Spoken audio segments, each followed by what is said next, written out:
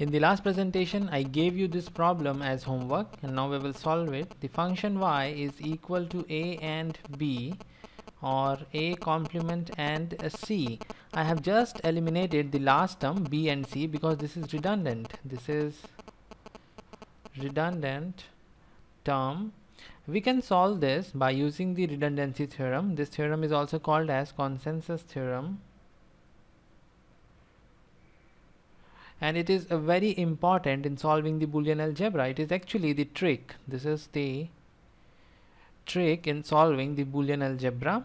And uh, let's see what are the conditions and how to use this theorem. The first condition is there must be three variables. And we have three variables a b and c are the three variables in our function y. The first condition is satisfied.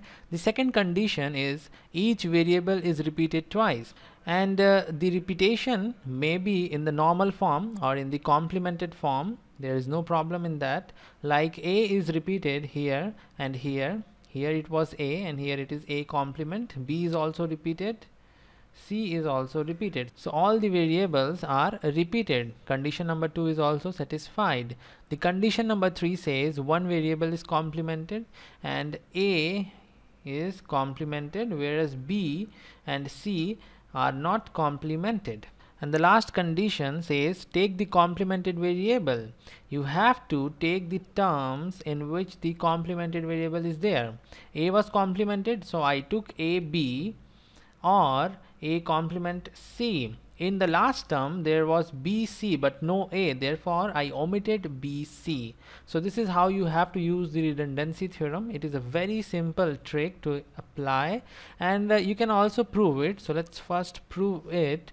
Then we will see few more examples on it. The function y is a and b or a complement and c or b and c. I can definitely write it like this we will use this one in this step a and b or a complement and c or b and c.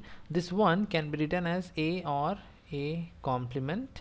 I will use the distributive law now. I will open this and I have a and b and c or a complement and b and c now you can see AB is common. So I will take AB as common. And here I'm left with 1 and from here I will have C. Whereas A complement C is common in these two terms. So I will have A complement C. And from here I'm left with 1 and from here I will have a B and you very well know that if anything is ORed with 1 the output is going to be 1 so I have A and B or A complement and C. This is what we got from the redundancy theorem and you can also prove it like this. So this was our problem and we can directly write the answer like uh, this. We have to omit the term in which the complemented variable is not there.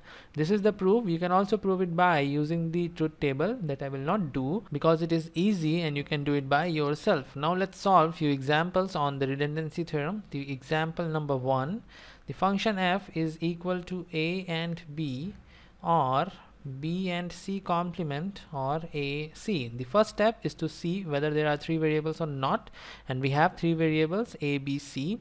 Each variable is repeated twice and definitely each variable is repeated twice A, A, B, B, C complement C. The third case is one variable is complemented and C is complemented whereas b and a are not. Take the complemented variables. So the reduced function will be bc complement. We have to take the complemented variable that is c.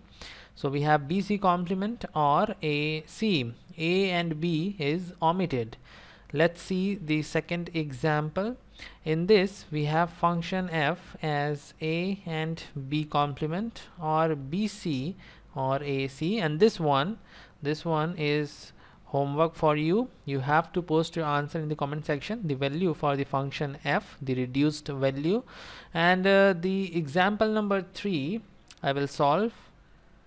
The example number two is for you. A or b and a complement or c and b or c. In this again we have to check for the three variables. We have three variables a b and c. Each variable is repeated twice. A is repeated twice b is repeated twice and c is repeated twice. One variable is complemented. Yes a is complemented. And finally we have to take the complemented variable. So if this is function f we have a or b. I'm taking the complemented variable that is a and a complement or c. And this one is omitted because in this there is no a. Let's solve example number 4 in this the function is g and it is equal to a or b and b complement or c and a or c. This is homework for you. You have to post the answer this one. And uh, the fifth example is very important because it is different. We have a complement b complement or a c complement or b complement c complement. In this you can see all the terms are complemented except a. So we have to just follow these steps and I will write function as a complement b complement or a c complement. We will omit this one because in this we don't have a. A is the only thing that is non-complemented. Initially we were looking for one variable that is complemented but when all the variables are complemented and one variable is not then we have to see the variable that is not complemented. And a is the one which is not complemented that's why we have to take a. And a is there in the first term in complemented form and in the second term in the non-complemented form. So we took them this is the answer. So please post your answers for the example number 2 and example number 4 in the comment section. This is all for the redundancy theorem. It is a nice trick to solve your questions because you cannot solve these problems directly by the rules the standard rules of the boolean algebra. You have to go through this process and each and every student will not go through this process and they will say it is already minimized. That is not true so this is all for this presentation. From the next presentation we will start the sum of product form